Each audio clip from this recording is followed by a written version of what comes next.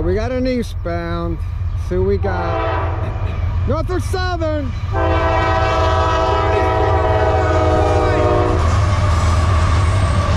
Chugging. 9642 at the end.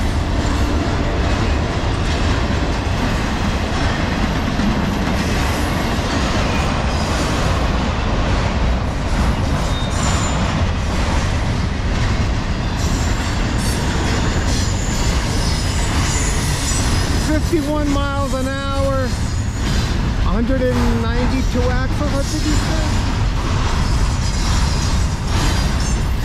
It's either 22x or 24x. Slow day so far.